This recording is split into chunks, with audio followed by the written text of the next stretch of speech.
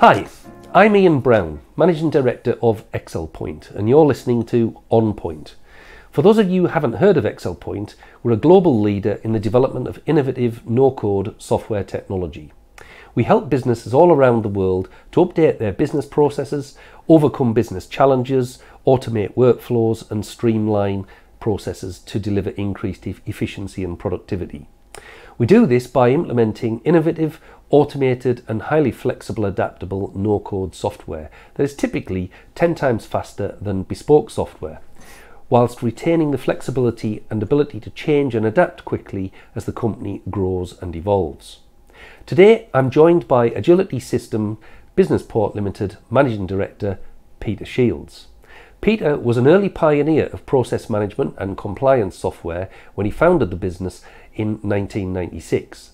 He continues to be a firm believer in process-based approach that increases operational performance to reduce costs while having a greater uh, visibility of all compliance obligations. With the growing list of complex compliance obligations there are, such as data protection, GDPR, um, the Agility System software provides a centralized source of the truth to guide the workforce on delivering safe, efficient and compliant processes. The system's document management capabilities control all content, draft to archive, and has military strength functionality uh, by storing officially sensitive content. The new Agility Workflow component complements the visual swim lane process maps with process automation and includes QHSE mobile-friendly modules. With offices in Aberdeen and Manchester, BusinessPort provide proven software and, ex and experienced support personnel to an impressive client list, including Babcock M&T, Royal Naval Sites, Total Oil, Baker Hughes, AECOM, Amentum, Interserve, Centrica Energy, Siemens, and many mid sized innovative companies. Peter, thanks for joining us here today. Pleasure. Thank you for inviting me. That introduction makes it sound like you've been around the process industry since Adam was a lad. And I notice it says that you were a pioneer of process driven and especially swim lane um, visualizations of business processes. Tell yeah. me about the early days. Well, I, was a, a, quality engineer. Uh, I started way back in 78. Um, I was just out of school right enough. I was going to say, for most of our audience, they'll think 78. Exactly. People are still alive from know, that period. Exactly. When uh, televisions had just been in colour then. But uh, in those days, quality management was relatively new. Um, but it was very much document orientated. So all processes were really in procedural format, lots of text. So of course with the the early document management systems that were beginning to be you know developed in those days, um, that was automatic that people would just sort of basically store all these documents in the one repository. Of course, it's over the years as the quality function started to uh, to grow um, health and safety, particularly particularly in the oil and gas market. Um, after Piper Alpha, um, there was basically a, a, a, you know there's a huge amount of documentation produced, uh, procedures, policies, guidelines, and by the by the year of say 93 I thought this is really very difficult not just for the quality managers and the QHSE, it's um, health and safety. Um, environmental were then coming on board, so the compliance uh, environment had really expanded. And just to use a document management system, text documents, it was just too difficult. And the workforce really didn't like using such a tool. So yeah. I, I, came up with an idea of, of basically mapping out the processes. First, the core processes, and then the supporting processes, and doing that with the workforce so that we could have a, a you know, an accurate representation of what the activity actually involved. Having seen your tool, I know that the mapping out of those processes that you described is very visual yeah. So it's meant to be very easy to understand, very easy to navigate, Um, you know, anybody doing their day job doesn't have to be an expert on corporate policies and procedures. They can click a few buttons and get to where they need to be. Absolutely. And I take it that simplification is right at the core of what you do. That's right. I, I you know, the idea of experts writing the process was really it, it wasn't to be um, adopted by us. What we wanted to do was to get people around a table, and not necessarily the managers. We wanted different users. We wanted mature users. We wanted younger users. We wanted different disciplines. So a, a typical session could be maybe half a dozen different disciplines around the table, and we would basically walk through the sequence of events. What that did allow was for people to actually start improving the process. In fact, in some cases, people were not aware of what happened further on in the process or where it kicked off. And it was a bit like these walls here. What we did was basically reduce the walls, try to get an, an even kind of playing field, shall we say. And the transformation from text document to even just a basic swim lane was absolutely enormous. It was a really big jump. And of course, now um, we can obviously then take that into an, another area of process automation. And it's the, it's the from a change point of view, we felt that we got people on board, we got great ideas, we certainly simplified it. But what we could also do was we could identify compliance, which really was a big bogeyman. The normal worker is not aware often of compliance and the importance of it. So what we did, we drove each element of compliance into the process. And then we realized, hang on a sec, why don't we put risk in here as well? So now we've got this kind of fairly, you know, it's a, an, agno- an agnostic kind of framework that allows any discipline in any company to understand what they do, what the rules of the game are within that particular process, and what the dangers are. Yep. And as we say, it, we really make sure that people get home for their dinner at night time. It's all about you know process improvement health and safety and, part. and safety as well. It's a, it's a, a combination, I think. Yeah.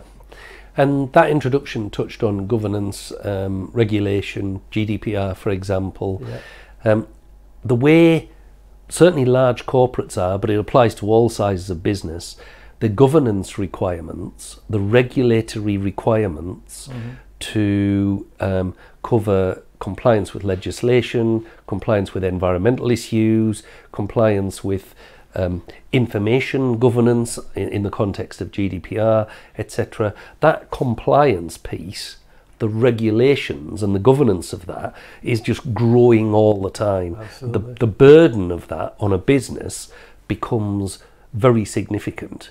And it's okay doing it, but being able to evidence that you're doing it and doing it professionally, Yeah. um, digital systems like yours help with. No, I, I, absolutely. I, as I said, the the compliance landscape has it's just grown enormously. Therefore, we need to to try and simplify the complex, to use that phrase.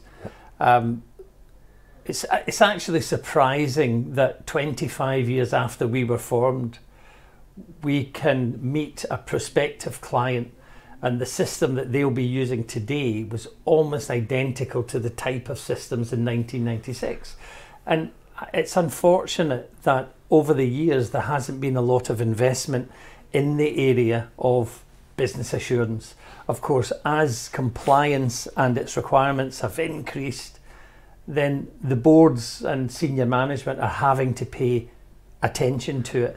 And there's a real closeness now between the way in which companies like us and yourselves look at how the workforce can comply in the simplest possible way. Because we're not going to change the rules, the rules are there.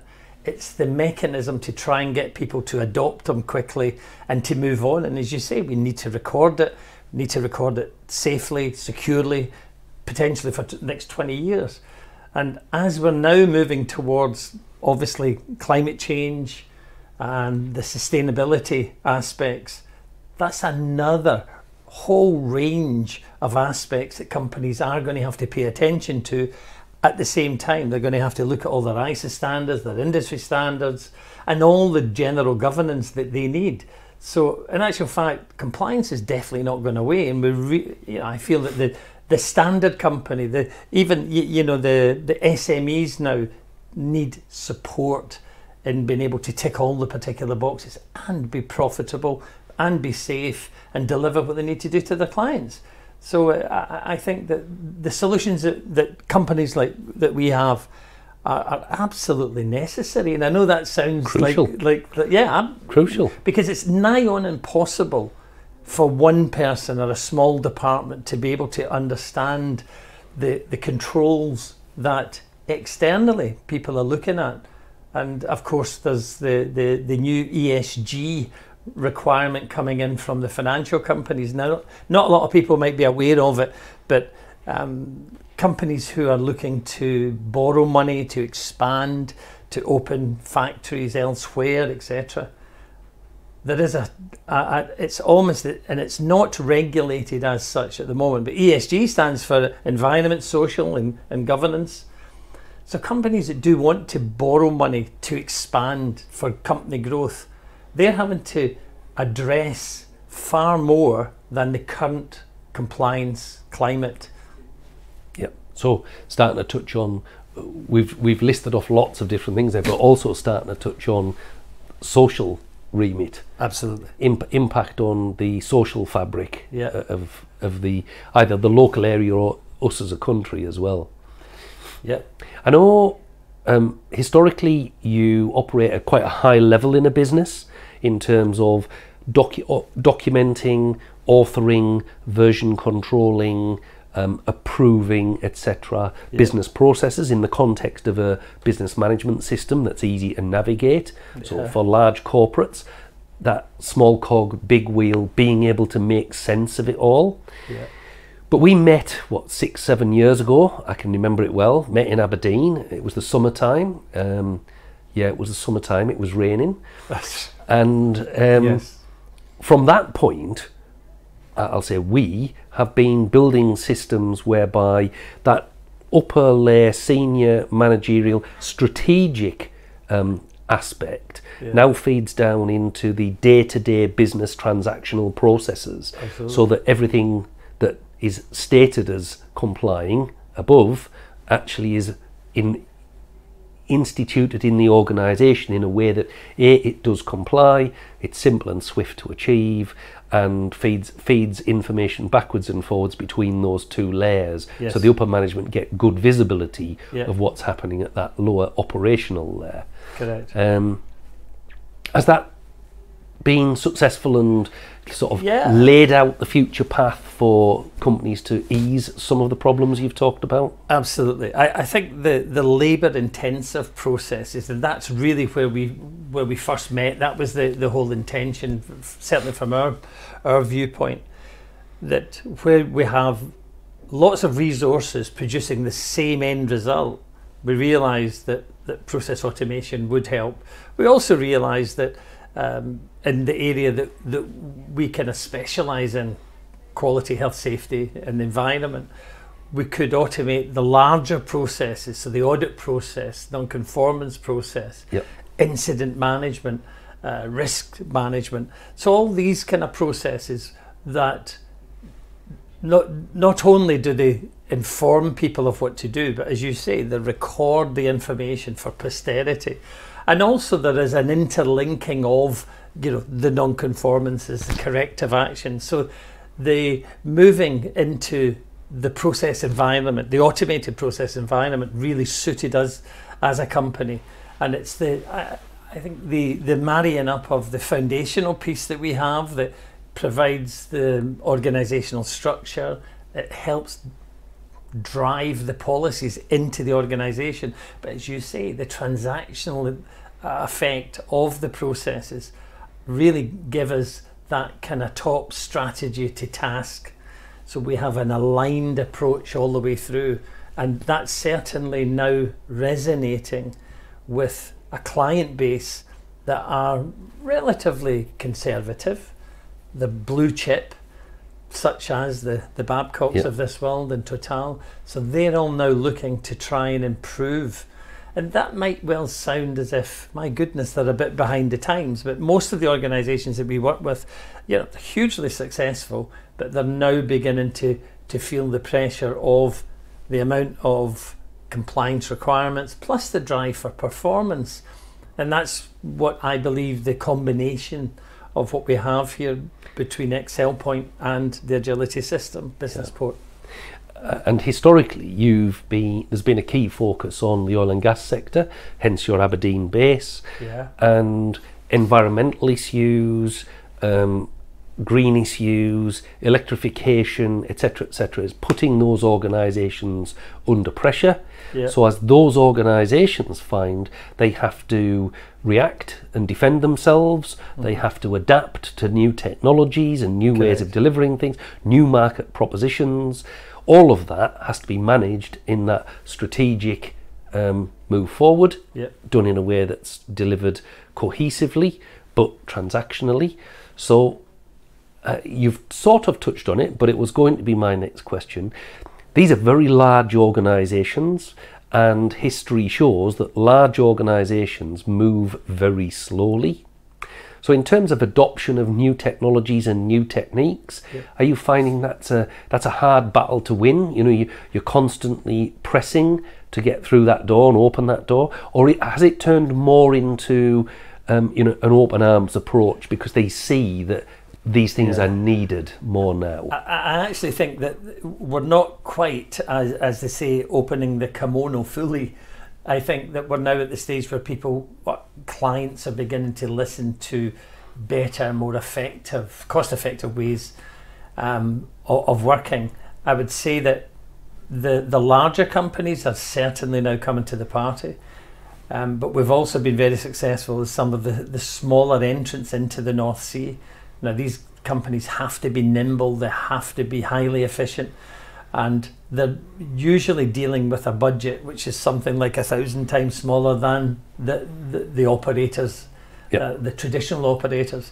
So they're having to look at reducing costs, pr- automating the processes is, is certainly one area, but it has to be combined with sort of retraining the workforce, get them to understand the changes, the transformation from basically the old ways of doing things. Yeah. And so I would say that the the the new the SMEs, the small to medium sized enterprises, seem to be much more aware of the ability to effectively cut through bureaucracy, cut through sort of waste and inefficiency, levels of duplication that, that are just unbelievable.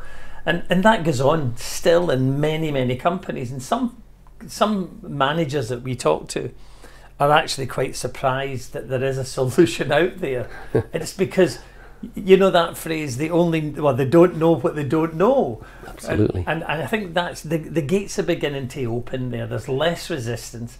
And, but I would certainly say that the climate change with, and the real drive for sustainability is, is giving industries that final push to be able to say to senior management and the board, you really have to give us a budget to look at this because without a budget, it's it's still just great ideas. Yeah, yeah. Budget is massive. The very first um, podcast we did it was with a guy called Mike Matthews from the manufacturing sector, and he talked about digitalization of processes.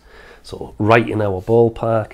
And he said one of the big problems is the manufacturing sector don't assign budgets to these things on an annual basis. Yeah. So, same mantra, and you're seeing that in you know, your markets, predominantly oil and Yeah. gas. Um, we, we do some work in nuclear decommissioning, and in a marketplace that's changing, and I would imagine oil and gas is similar, Yeah. there'll be a lot of work around decommissioning Yes. because these are massive assets, Yeah. massive impacts, potential for huge environ- environmental impacts, and therefore the management, auditability, and so on of all of the information associated with decommissioning must also represent an opportunity for business, Paul. Yeah, absolutely. I mean, we find that the, um, in, in fact, 2014 there was an oil crash, and we realised as a business that we actually had too much, too many eggs in that basket. And Oil since, and gas. Oil and gas. Uh, and since then, we have retained all our particular clients. Um, thank you if anyone listening. Uh, we really do appreciate it. But what we've also done is, is look at um, some of our some of the other areas of the sector, such as defence, manufacturing, um, renewables is is Huge. beginning to be huge. There, there is no doubt, and and obviously, just over the last month, we're beginning to realise how desperate we we are uh, as a as a planet, really. So we have to be moving much faster, quicker down the ren- renewable route.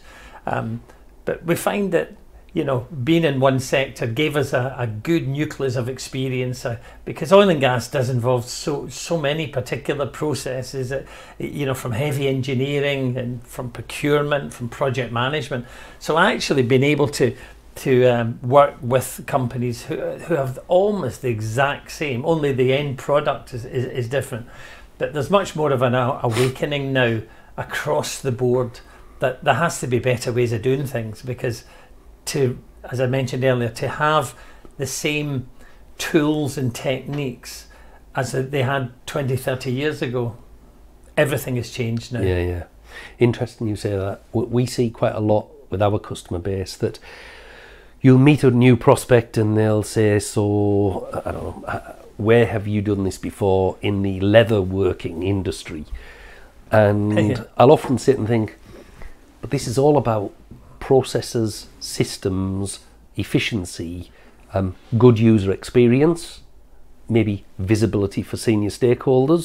yeah those problems are the same problems. Absolutely. You could replace the industry with almost any industry sector. That's the right. problems are the same. And the beauty about companies like ours, we can bring some best practices and learning experiences from other industry sectors to bear in any sector. So there may be a sector, we're talking oil and gas, might be a little bit behind other sectors in terms of change. Mm-hmm. Um, but we can bring that experience to bear because we've been with Yeah. plenty of other sectors who are ahead of the game That's and they've learned those lessons and solved some of those problems. correct Um, so interesting, we see the same thing. I, I would say that you know sometimes when, when we um, are first introduced to another um, a company in a sector, uh, let's just take a, a particular sector in manufacturing that, that we haven't really worked within. Apart from, as I mentioned, the end product, the whole the whole area is about getting people to do the right thing at the right time and do it efficiently and safely, etc. So there's no difference from the actual concept of what we're trying to do here. And really, it's uh, you know, it's it's trying to identify where in the past we've had a similar type problem or solution, and and it does help because over the years you see companies make the same mistakes year in year out, Yep. and it's only because they've never really known any better. And so I think companies like us are able to actually we're a catalyst for change, and by by being a catalyst, you're able to show look you know this company did this. We we we found. Um, some wonderful new techniques in a in a biscuit factory of all places, and you know, and also there was some lovely light-hearted stories that, that that we could tell. You know, when we go into a company and we talk about processes, quite often the workforce are sort of saying, "Well, what do you mean by processes?" And I had a situation. Um, there's a a very well-known biscuit manufacturer in Glasgow, and. Uh, as I walked down the production line, I um, I saw a person stacking boxes, and they were stacking boxes frantically, and I had a hat on and I had a clipboard and a white kind of gown. We all had to do this, and I'm mapping out the process from. Um, from the mixing through to the oven, and this was walking towards the packaging. And as I was walking towards this person, I thought, hmm, they're not going to have a lot of time to tell me what they're doing. So I, I, I just happened to say, hmm. I said, hi there. The person looked up at me and I said, so do you want to just describe, you know, what you do here?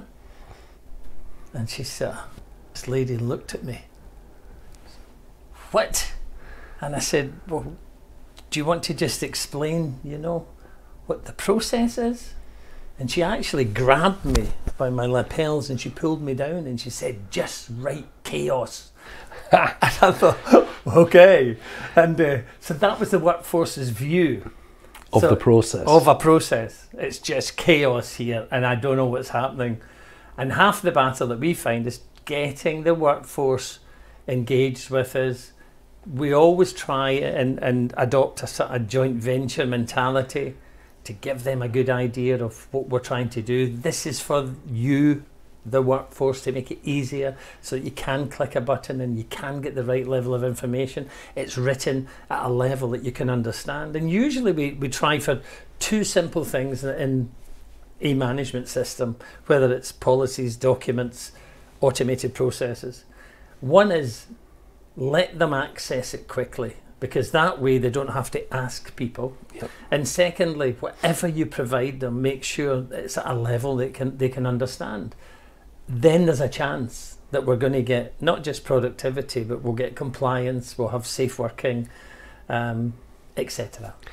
and you've got those things because you've got by focusing on those two things you've got user adoption the people at the sharp end Yep. will use the tool because in software and IT industries there are so many systems that the end users at the sharp end just loathe and don't Yeah. like don't use them. Um, and that's a recipe for disaster in itself Yeah. But Remember though that we've we've got people, you know, now. Yeah, I was on a train this morning and there was, excuse me, there was children at, eight with an iPhone using the, you know, as the ticket, their train ticket.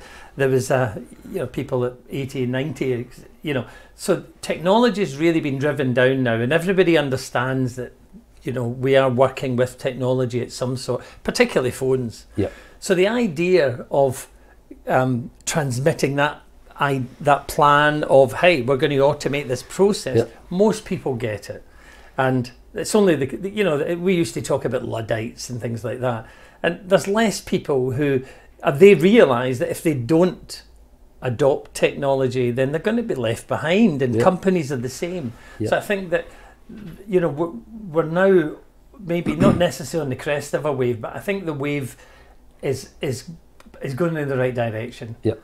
And and it's it's our job to make it even simpler for people to to be able to use it effectively, efficiently. So when you can engage with your business process on your mobile phone, or for that matter, wherever you are, you know, at your desk on a PC, correct. you know, on your mobile phone, on the golf course, on a train, um, that makes it so much easier. Absolutely. And I think it's that combination that we never had before our companies met, before we met. Yeah. Um, so it meant that we could take it down to that bottom level because you know the the structure of the management system does go from top to bottom, bottom to top. Yeah. And it's it's trying to get people to understand what they've got to do to, you know, help the company and it's our job to kind of make it as simple and as uncomplicated as possible. Yeah, yeah. Um, this isn't a one-way street. Have you got any questions for me? Is there anything you'd like to ask me about ExcelPoint or how we've worked together or our technology Yeah, or well- whatever or or if not, that's fine as well. No, I, I think that um, I think it's you know I've I've also seen the the growth that ExcelPoint have incurred, um, particularly over the last say three four years. So where do you feel that you know are you on the journey that you've planned, or is the is the route beginning to open up Um, yeah, I- I think? I think we are on the journey that we planned. Um, I think the best laid plans of mice and men. Um, yeah, we didn't plan a COVID pandemic, um, and that therefore was a big dent. Uh, I think it it didn't damage us as a business, but it stalled things a little. yeah. Um, I think out of the back of that comes an opportunity because I think there's a lot of businesses that needed to pivot, needed to change, needed to move from working in a factory to working at home, or some people working at home, and all of that felt very difficult. Yeah. So our technology can embrace a lot of that and remove some of those problems entirely. So I think there's an opportunity there, and we're still on that journey that's planned. Um, whether we incur it or whether, um, i.e., it happens to us, or whether we make it happen, is a different matter. I'm pretty confident that. Um, yes, there are elements of luck in business, being in the right place at the right time. Sure. But most of what we achieve, we have to work hard to make those things happen. Yeah. Growth doesn't fall in your laps these days. No, absolutely. Very competitive market. yes, Yeah. absolutely. Well, Peter, it's been a pleasure having you down from sunny Aberdeen. Yes. Um, and it's a fair trek to make as well. So thank you for the efforts and hopefully business management systems and a bit of the history of how we got to where we are today has enlightened the audience. Yeah. And, no, thank you for inviting me down, and, and, and I feel that we are certainly on the on the right road. Um, and yes, business is never, you know, nobody hands you business on a plate.